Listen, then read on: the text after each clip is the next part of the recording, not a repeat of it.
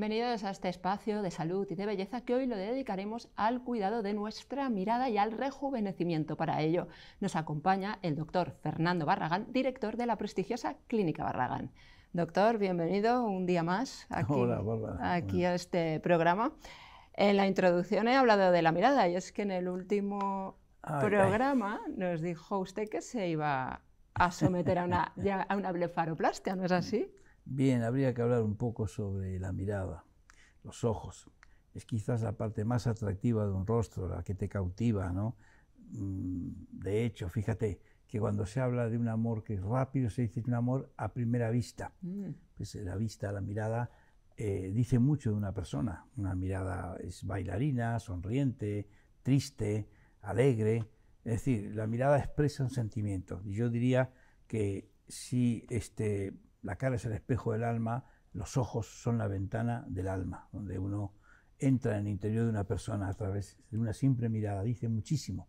Por eso, lo que rodea la mirada, es decir, el balcón, la ventana que estábamos hablando, lo que la rodea, pues eso puede dar lugar a expresiones que no son las que realmente tiene esa persona. Por ejemplo, un exceso de piel en el párpado superior, si cae en los costados, hace evidentemente una mirada triste, porque la mirada se hace como en un paréntesis hacia abajo y da una expresión triste. Cuando las bolsas de los párpados están estas grasas que se acumulan aquí abajo muy abultadas, da una expresión cansada, botargada, eh, sin vida. De modo que limpiando, limpiando todo lo que rodea la mirada, porque la, mirada es una expresión, digamos, todo lo que rodea al ojo, a la mirada, eh, favorece o, en el lado contrario, cuando está mal, afea, avejenta mucho o cambia mucho la expresión de una persona. ¿Me preguntabas acerca de mí mismo? Sí, porque en el último programa dijo que finalmente se iba a someter a una blefaroplastia. Bien. ¿Cómo ha sido la experiencia? Y ahora veremos el, ah, antes. Bien. Podría hablar de mi intervención a través de varios refranes. Uno de ellos es ese de a la vejez viruelas. Es decir, después de tantos años y de tanto operar, este, pues me he decidido yo. Y realmente, eh, debéis creerme porque es cierto, eh, no me decidió el aspecto mío, la famosa autoestima, porque felizmente siempre la he tenido muy alta mi autoestima y no, no me ha motivado demasiado. Pero sí los pacientes me lo decían.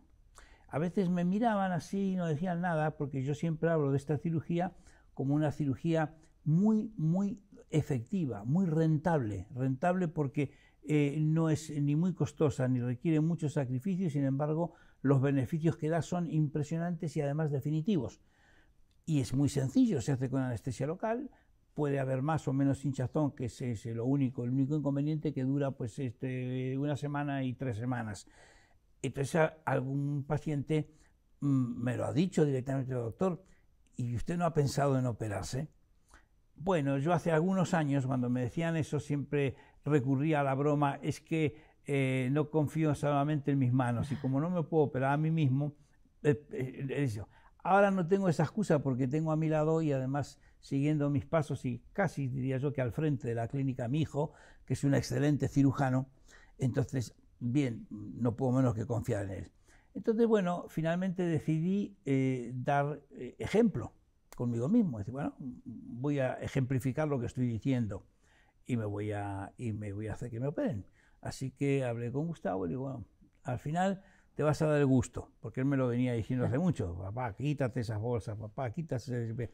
Y yo siempre me iba por peteneras, como se dice, así que al final le di el gusto y realmente el resultado incluso me ha sorprendido, ¿no? Me ha sorprendido eh, no porque dudase que iba a quedar bien, pero me ha sorprendido que realmente le da a mi cara eh, más fiabilidad eh, mm. en relación a lo que es mi trabajo, que propongo belleza, eliminar los rasgos del, envejecimiento, y eso hace que el paciente al verme, pues este, diga, pues sí, él mismo lo ha hecho y, le ha funcionado, ¿no?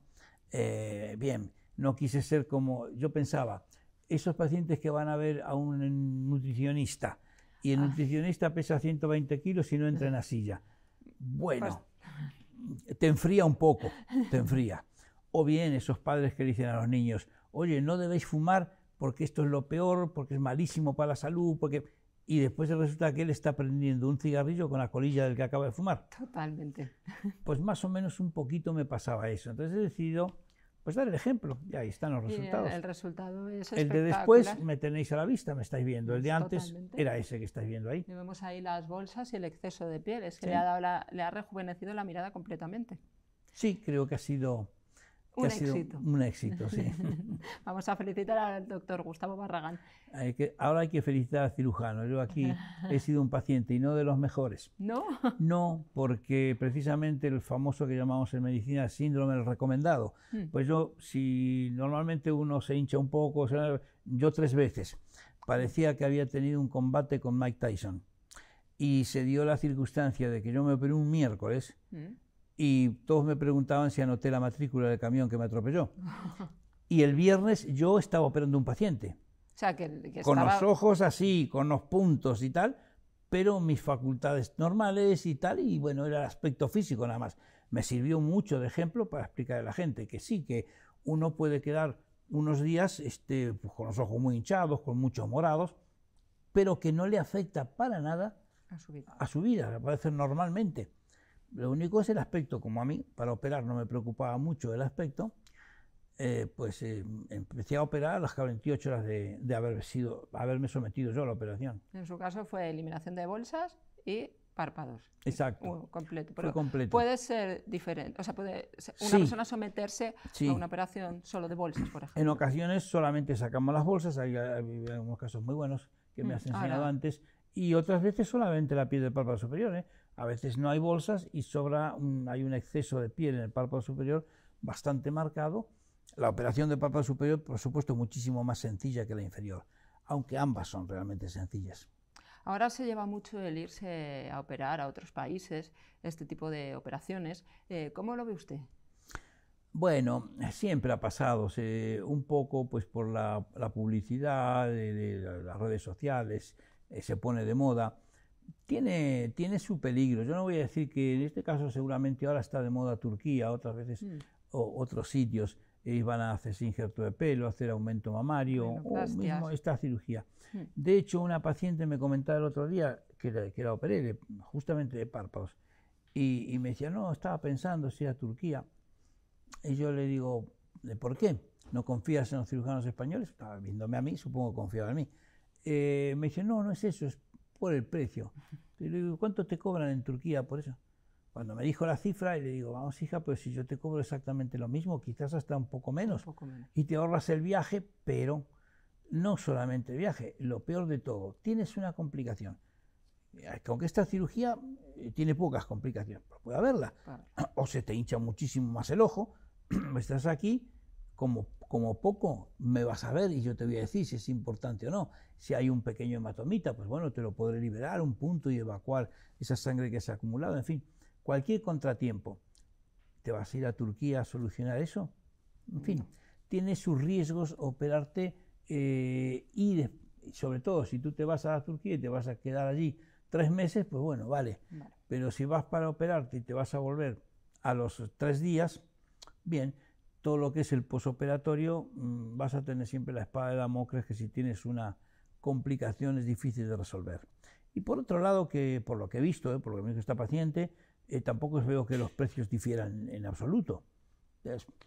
quizás al final este sale más caro, porque tiene que pagarse el pasaje, porque tiene después allí gastos y el hotel, y en fin. Pero bueno, esas son modas que se ponen. Ahora vamos a ver más casos de antes y después. Eh, a ver si nos lo ponen nuestros compañeros de realización también. De... Mira, ves, esto es lo que hablábamos antes. Este, este caso es un hombre joven, se ve que es joven. En realidad me gustaría más que la foto de antes estuviese al revés, a la izquierda. Para Ay, cierto, se ha bailado. Pero bueno, evidentemente se nota cuál es antes y cuál es después. Sí, sí, sí. Bien, en este caso eran solamente las bolsas de los párpados inferiores. Como veis en ese zoom que había antes en la, en la fotografía, no se ve ningún corte, ninguna cicatriz. Nada. ¿Y sabes por qué? Porque no lo hay. Ah. No, porque esto lo hacemos lo que llamamos la vía transconjuntival, es decir, evertemos el párpado, lo damos vuelta y ahí ese, con láser o electrobisturí se corta la mucosa, se llega a la cavidad donde están las bolsas, se extraen esas mismas bolsas y después se deja en su sitio esa, esa conjuntiva que hemos cortado sin puntos y sin nada. Entonces, claro, no hay ninguna señal, pues porque no hay corte, ni puntos, ni nada por el estilo. Y en este caso, eh, eh, ¿esta foto es tomada siete días después? O... No, esta foto es un poco más. Esta foto debe tener unos 15 días de la eh, posoperatorio. pero veis que no tiene ningún, ningún resto. Vamos a ver otra imagen, que creo que tenemos más casos.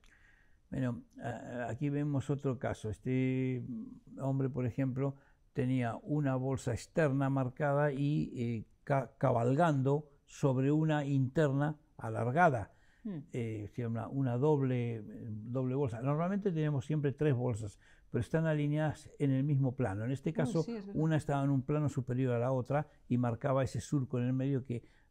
Y veis que el resultado eh, cuánto más joven parece, cuánto le ha cambiado eh, la mirada y la expresión del rostro en general. Totalmente, le ha mm. rejuvenecido totalmente. Vamos a ver otra imagen que tenemos.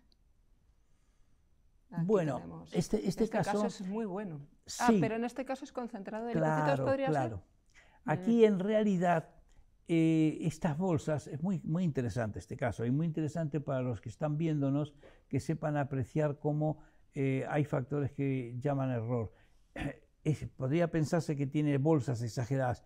No las tiene, no tiene bolsa. Lo que tiene es hundido por debajo. Entonces, al tener esto que yo llamo el valle de las lágrimas, es decir, la, eh, parte inferior del, o mm. superior de la mejilla, e inferior del, ojo, hundido, hace que aparente tener una bolsa cuando en realidad lo que tiene es un hundimiento de la cara. Esto lo he resuelto injertándole grasa de su propio cuerpo con una técnica que yo he denominado concentrado de lipocitos, que en fin, eh, quizás no sea el momento de explicarla porque sea largo, pero básicamente para que se entienda lo que hago es que sacar grasa de la barriga o donde sobre un poquito de grasa, prepararla, elaborarla y ese tejido vivo, es muy importante, un tejido vivo, no inerte como puede ser un ácido hialurónico, se injerta en esa zona, se rellena las bolsas han desaparecido como por arte de magia. En realidad es que no estaban, se ha rellenado lo que estaba hundido.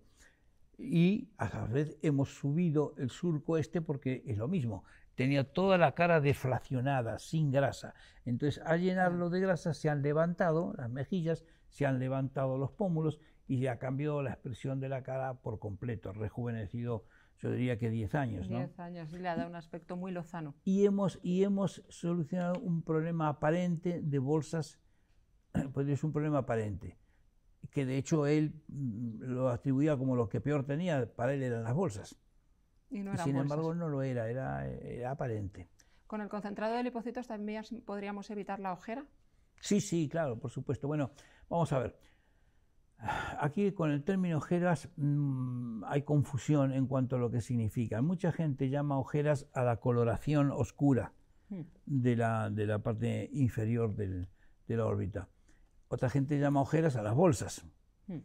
Otra gente llama ojeras a lo que este chico tenía, a hmm. tener hundido aquí y al tener hundido pues da esa sensación también de hiperpigmentación. Parece que estamos oscuro arriba porque en realidad está hundido. Bueno, Mm, ya vuelvo a deciros que mucha gente utiliza esta misma palabra ojeras para realmente eh, distintos eh, eh, estadios o distintas este, afecciones, cada una un tratamiento distinto. Si esas ojeras son exclusivamente por el color oscuro, poco podemos hacer, poco, ah. poco. Yo he, hecho algunos concentrados de lipocitos que si se mostrasen dirían, uy, ha desaparecido el color, o sea, se ha quedado muy bien, muy clarito es un efecto, mm, es como una complicación benigna, por así decirlo. Eh, es un efecto que, bien, ha aparecido y todos felices, pero que no se lo puedo asegurar al paciente. No, le puedo prometer que esa coloración oscura se va a ir con un concentrado de lipocitos. En algunos casos he observado que ha mejorado mucho o incluso que se ha ido, pero es como un efecto marginal, secundario, no, no predecible. Lo que yo puedo predecir es cómo voy a rellenar esa, esa parte deprimida, cómo voy a hacer desaparecer esas pseudo bolsas o ojeras, como llama la gente. Pero el color no. Entonces volvemos a lo que la gente llama ojeras. Si llamas ojeras que tienen los ojos perfectos, la, conformación de esta zona perfecta, no la tiene hundida, no tiene bolsas, solo que tiene los ojos oscuros, como por ejemplo algunas etnias lo tienen, los indios en particular. Me refiero a los indios indios, los indios de la India, ¿no? No los indios, no los amerindios, sino los indios de la India, tienen estas ojeras, estos ojos oscuros. Eso no tiene solución, es constitucional, es genético su forma de ser. Si la gente llama ojeras a los abultamientos producidos por las bolsas, claro, eso se soluciona perfectamente con la blefaroplastia. ¿No? se ha quedado claro. Ha quedado clarísimo. Mm. Eh, ¿Qué diferencia hay entre el concentrado de lipocitos y el ácido hialurónico? ¿Podrían ser complementarios? Son dos cosas totalmente distintas. Eh, el único punto en común que tendrían es que ambos actúan como material de relleno, sirven para rellenar. Eh, cuando se trata de corregir esto, las ojeras que digamos, o la depresión esta, con ácido hialurónico, a mí no me gusta. Mm. No me gusta porque he visto, desgraciadamente, que me han llegado de otros sitios, eh, felizmente, muchas este, complicaciones por usar el ácido hialurónico aquí. ¿Qué complicaciones? Esta es una piel muy, muy, muy, muy, finita, muy delicada, es un papelillo de fumar. Entonces, este, si eh, se coloca una tiri, una, un chorrito, como una salchichita de ácido hialurónico, a veces eso se palpa y se ve y queda como una salchichita aquí. Eso a veces da lugar a que tejido fibroso cicatrizal que se dispone alrededor de, esa eh, inyección de ácido hialurónico cree una fibrosis y aunque el ácido hialurónico se reabsorba, porque se termina reabsorbiendo, la fibrosis no. Mm. Bien, eh, y otras, otras muchas complicaciones que he visto, entonces aquí no me gusta el ácido hialurónico como relleno para los surcos nasogenianos, para aumentar los labios, el volumen de los labios, incluso para aumentar un poquito la conformación del rostro, aumentando los pómulos, un poco el mentón, sí, va muy bien. Eh, eh, yo diría a tu pregunta, ¿son complementarios? Pueden serlos. Mm. pueden serlos. ¿Por qué?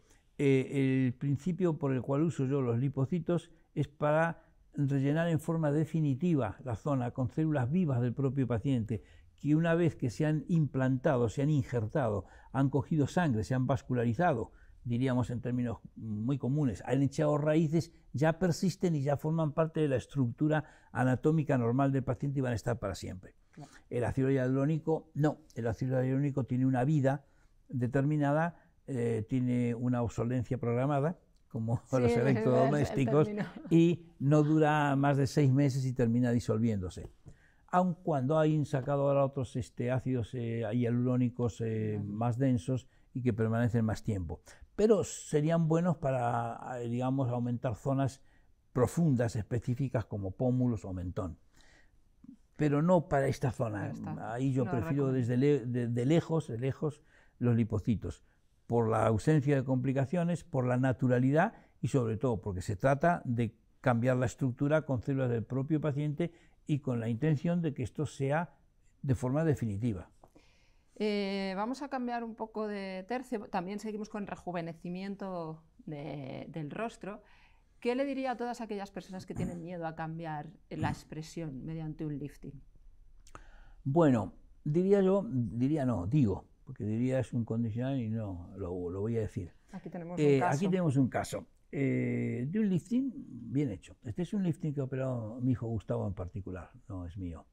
Eh, el objetivo es rejuvenecer la cara, retroceder varios años a cómo estaba antes, sin cambiar en absoluto la expresión. Entonces, eso es cuando está bien hecho.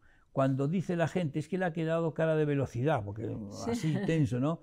O, o, le ha cambiado la mirada o le ha cambiado la expresión, es porque no se ha hecho correctamente porque precisamente lo que hay que buscar, ojo, también es algo que tiene que aceptar el paciente, porque hay pacientes que, mm, tienen un poco distorsionado el gusto y lo que quieren, y a veces piden ellos eh, precisamente cambiar, y, cosa que a mí no, me parece lo correcto. Lo correcto es esto, que la mujer se vea con la cara de hace unos años, fresca, más lozana, joven, pero mm. siendo ella misma. Sí, desde ella misma. En este caso es solo lifting, no ha habido Solo lifting. Esta, bueno, lifting y párpados, claro, obviamente, ¿no? Ah, eh, claro, claro, claro, blefaroplastia.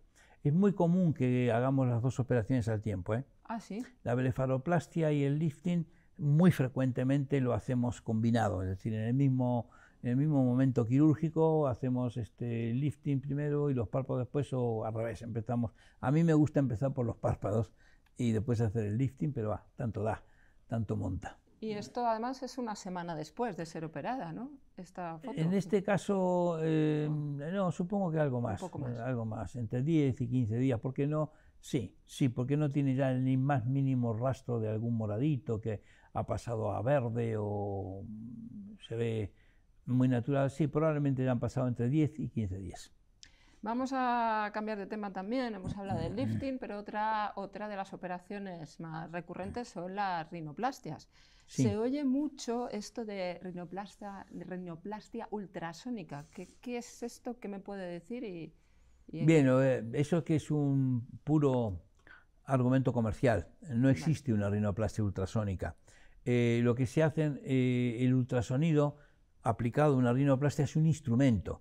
Es decir, en una de las fases de la rinoplastia, una de las fases, uno tiene que cortar los huesos aquí, esta zona de aquí, para poder cerrar la nariz cuando la nariz es este, como si fuese una, un techo a dos aguas, así. Si uno le quita la parte de arriba al quitarle el dorso, pues quedaría así, abierto. Entonces tenemos que volver a cerrarlo. para volver a cerrarlo hay que hacer un corte en el hueso a ambos lados para que haga así y, y se vaya hacia el medio. En ese momento es que ese corte nosotros lo hacemos con determinados instrumentos o, la sierra, una sierra que dio un médico eh, llamado Joseph, Serra de Joseph, o lo hacemos con osteótomo, que es como un pequeño cortafrío que va cortando el hueso con, como un cincel y un martillo, o bien ahora usar el, ultrasonido. Pero solamente eso, no es una. Claro, no se trata que la rinoplastía se haga con ultrasonido y no haya ni cortura, ni rotura de huesos, ni sacar, ah, es como medio mágico, se pasa el ultrasonido, no es una herramienta para un paso de la rinoplastia, que entre otras cosas podrá tener para alguno su ventaja y eh, para mí desventajas. ¿Por qué? Porque eso obliga a una técnica específica de la rinoplastia que es la técnica abierta. Es decir, hay que cortar eh, aquí la columela, levantar la piel de la nariz para exponer los huesos y poder con el instrumento del ultrasonido cortar el hueso. Mientras que es una técnica que yo utilizo muchas veces para cierto tipo de narices, no para todas pero cuando hago una nariz en la que no me interesa hacer esa técnica tan agresiva de levantar, pues con el ultrasonido no podría cortar el hueso.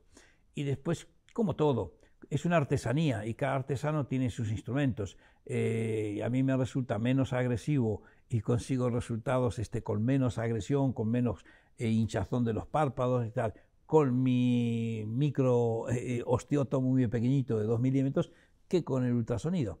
Pero en última instancia, que la gente entienda que la operación hay que hacerse más o menos como siempre.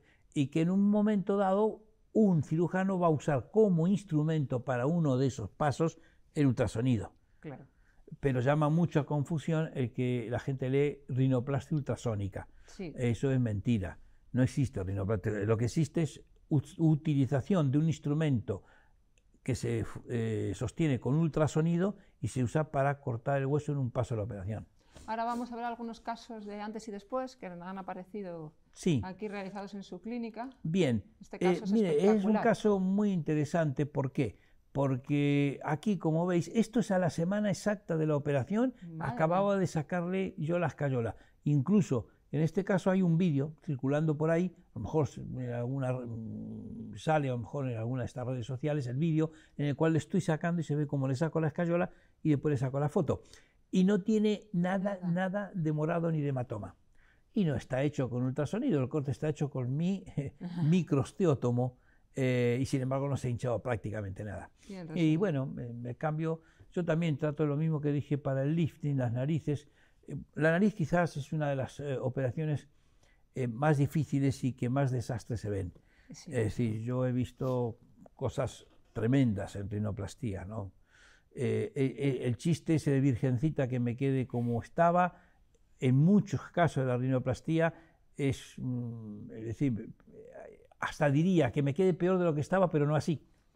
Es decir, se ven cosas muy, es una cirugía delicada que requiere conocimiento anatómico, requiere habilidad, manualidad y gusto, gusto por cómo lo vas a hacer. Total.